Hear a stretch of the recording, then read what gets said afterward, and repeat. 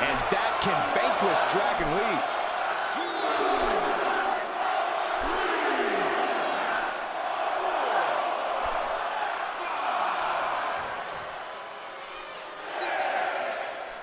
Count still climbing. We're up to seven now.